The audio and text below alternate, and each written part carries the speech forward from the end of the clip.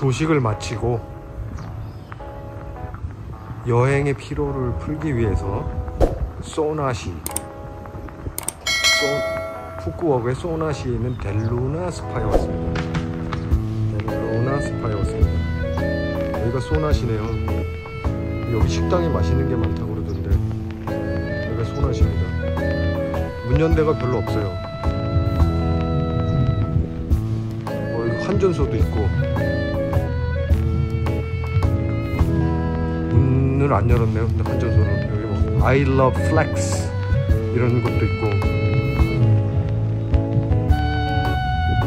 와 코리안 바베큐.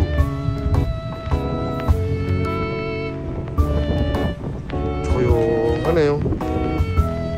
사람이 거의 없어요. 여긴 주로 사람들이 저녁에 오는가 보네. 델루나 스파를 받으러 스파 룸에 들어왔습니다 스파룸이 이렇게 생겼네요 그리고 옷을 이렇게 줍니다. 가운하고 반바지 이렇게 주네요. 어 이쁘다. 스파룸이 이뻐요 그랩카를 타고 지금 인터컨티넨탈 롱비치 리조트 북구역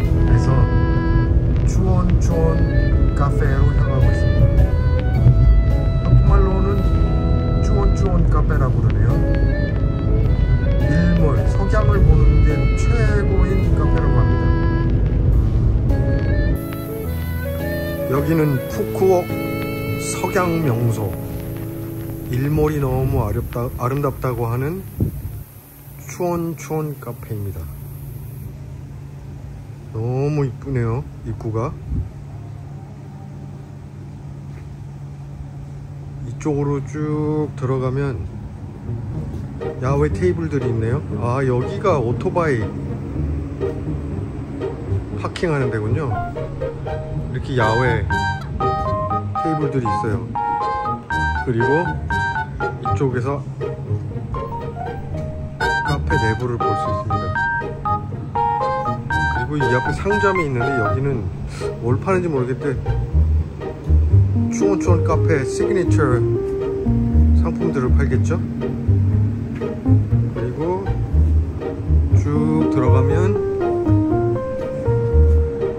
굉장히 커요.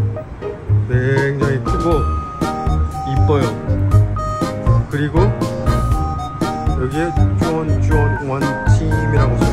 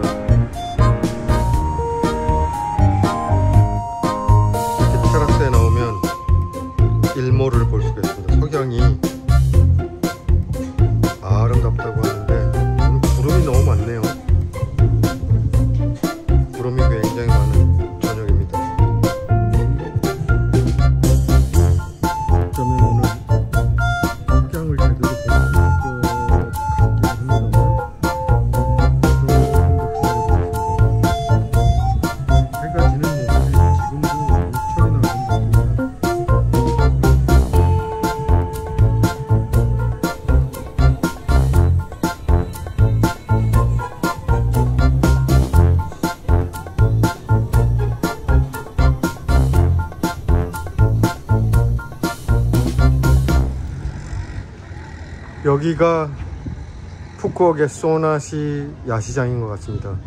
굉장히 조용하다고 그러던데 조용하네요. 정동 야시장하고는 완전히 분위기가 다른 것 같습니다. 한번 들어가 보겠습니다.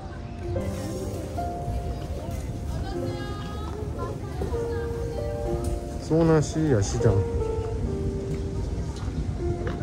조용합니다. 주홍동에 비하면 굉장히 조용하네요.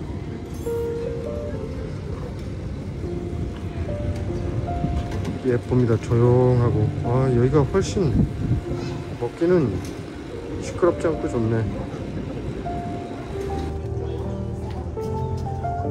쪼나시의 7번가 이모네 집.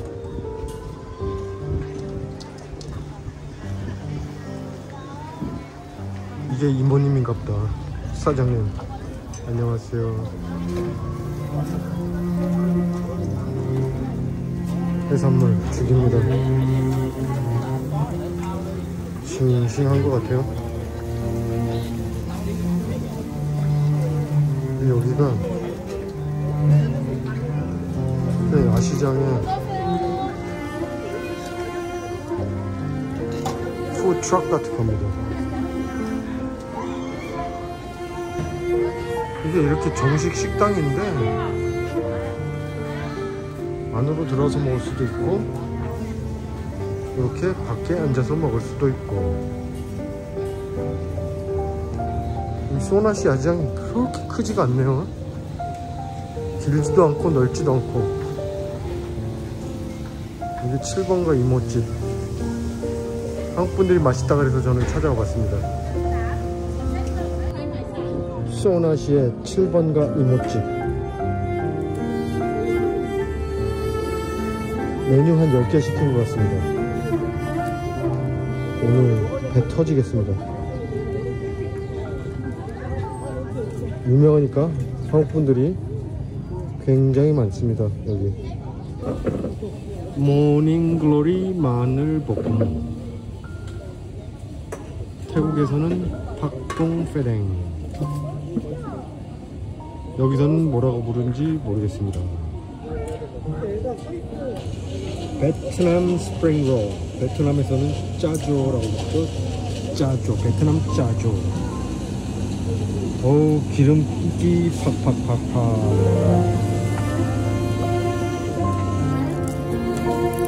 오징어 튀김. 어, 이 오징어 튀김은 아주 맛있어 보이네. 오징어가 신선해서 그런가? 여하튼 맛있게 보여요 새우 소금구이. 새우 소금구이입니다. 굉장히 늦게 나왔어요. 사장님 삐졌습니다.